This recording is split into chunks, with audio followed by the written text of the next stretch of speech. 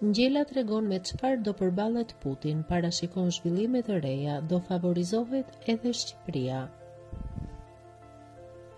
Avokati i njohur Spartak Ngjela ka analizuar situatën e luftës teksa shprehet se Putin nuk e mori në konsideratë as historinë heroike të Ukrainës, as forcën morale dhe ushtarake të Perëndimit e as dobësinë e theksuar të Rusisë kundrejt forcës së Amerikës.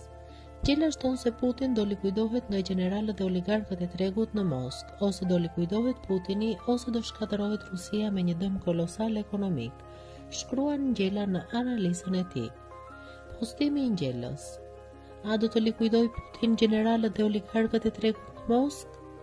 Analiza jonë që kemi bërë që në ditët e para të luftës Rusi-Ukrainë po rezulton e saktë. Shenjat po tregojnë se Putin do ta likuidojnë. Ose do likuidohet Putin, ose do shkatërrohet Rusia me një dëm kolosal ekonomik. Në fakt, ky nuk është rasti i parë në histori kur krerët si Putin kanë prekur stabilitetin e shtetit e tregut. Kurse në një kohë lufte, veprimet më psikike të çrregulluara nga një president absolut në një shtet i trembin bashkëpunëtorët e tij të ngushtë me frikën e tyre të sëmurë. Kjo frikë detyron që këta të shkojnë deri në vrasjen e presidentit të tyre, dhe dihet si fakt historik se në një periudhë lufte këtë e bëjnë gjeneralët e ushtrisë. Kjo është një e vërtetë historike që ka vijuar me vrasje presidentësh apo komandantësh të ushtrive nëpër luftëra pushtuese.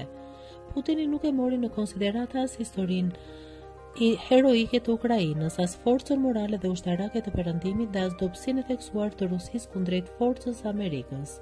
Tani politika amerikane po tallet me të, por ai nuk mund ta imagjinonte që një president i Ukrainës do ta mundte në luftë Rusinë. Tani të gjithë këta faktorë bashkë kanë konverguar në një pikë, te kapitullimi i Vladimir Putinit.